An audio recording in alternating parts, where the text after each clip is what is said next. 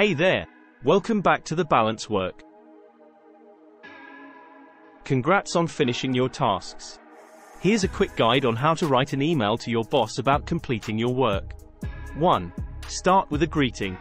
Begin with a friendly greeting like, Respected Sir, Madam, Dear Boss, Good morning. 2. Tell your boss what you have completed. For example, Hi, manager's name.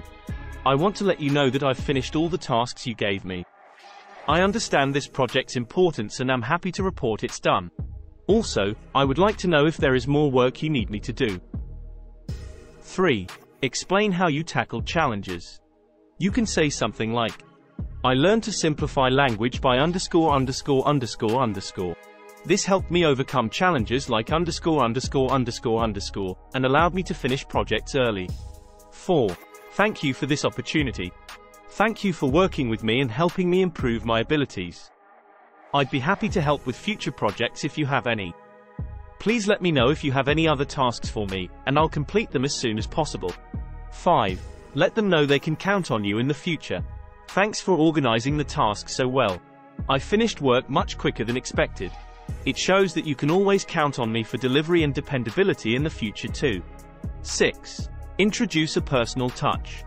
I hope these updates are useful, and I'd love to hear your feedback on what else I can help with.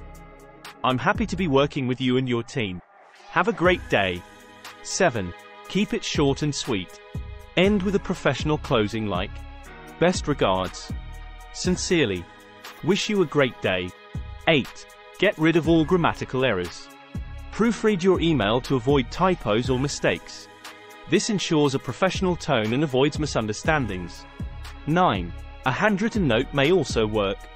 A handwritten note can add a nice touch if you have a personal connection with your boss. Express your gratitude and happiness in finishing the work. 10. Modify the example as per your needs. Feel free to change the wording to fit your style and needs. The headings are just guidelines. 11. Mention the date and time. Include the date and time you sent the email to show transparency and help your boss track your progress. Why is it important? Emailing your boss about completing your work is important for many reasons. It keeps them informed, shows your dedication, and can boost your career. So go ahead and write that email. If you enjoyed this guide, give it a thumbs up and subscribe for more tips.